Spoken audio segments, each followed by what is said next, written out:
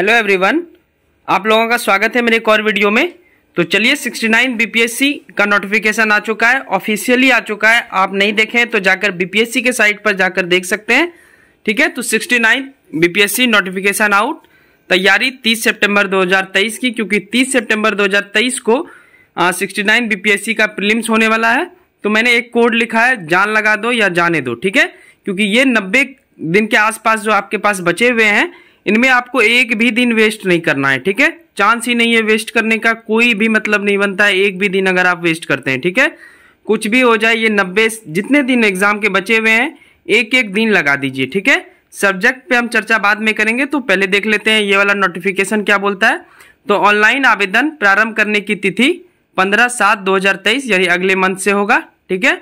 और ये उसके अगले मंथ तक भराएगा, यानी ऑनलाइन आवेदन भरने की अंतिम तिथि आपका जो है, वो है पाँच आठ दो हज़ार तेईस, ठीक है?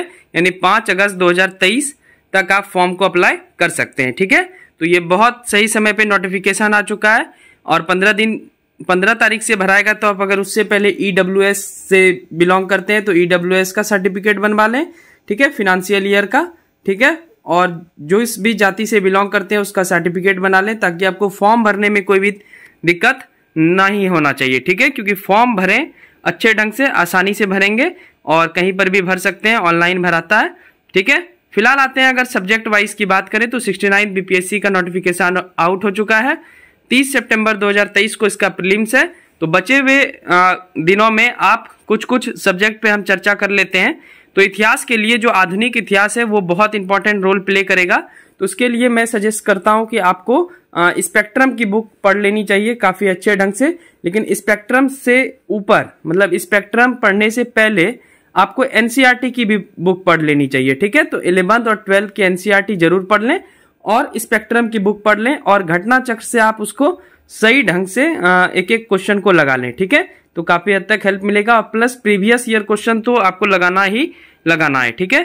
साइंस की बात करें तो लूसेंट साइंस आता है ग्रीन का ग्रीन कलर का लूसेंट साइंस का अलग से बुक आता है, उसको पढ़ेंगे। इसके अलावा आप सेवन एट नाइन और टेन की एनसीईआरटी बुक पढ़ेंगे साइंस की, ठीक है? ये इंपॉर्टेंट है। ज्योग्राफी की बात करें तो आप सिर्फ़ सिक्स से लेकर के ट्वेल्थ तक एनसीईआरटी कर लेंगे तो आपका काम बन जाएगा और आप घटना चक्र से लगा लें, ठीक है? घटना चक्र से ज़रूर आपको प्रैक्टिस कर लेनी चाहिए, चाहे वो साइंस हो हिस्ट्री हो पॉलिटी हो ज्योग्राफी हो, ठीक है? बिहार स्पेशल की जहाँ तक बात करें क्योंकि ये बहुत बड़ा चैलेंजिंग पोर्शन है तो बिहार करंट्स तो हमारे चैनल पे हो ही रहा है और मैं ये करवाऊँगा ही। मैं बोल चुका हूँ आपको कि तीन हज़ार के आसपास मैं क्वेश्चन करवा दूँगा। आ, उतना सफिशियंट होगा इस एग्ज़ाम के लिए। और आपको अगर अलग से पढ़ना है तो बुक सब मैं बाद में बता दूँगा ठीक है? जैसे ही मार्केट में आएगा तो मैं बता दूँगा। दूसरी बात यह है कि अगर आपको बिहार स्पेशल करना है तो बिहार समग्र का बुक आता है और प्लस एक और बुक पढ़ेंगे आप लूसेंट या क्राउन दोनों में से कोई। तो एक दो बुक आप बिहार का पढ़ेंगे और इसका भी प्रैक्टिस आप कर लेंगे। आ, एक तो आपकी सगीर अहमद की बुक आती है तो उससे कर लेंगे। और एक बुक का मुझे नाम याद नहीं आ रहा है मैं आपको बताऊँगा जल्दी ही ठीक है?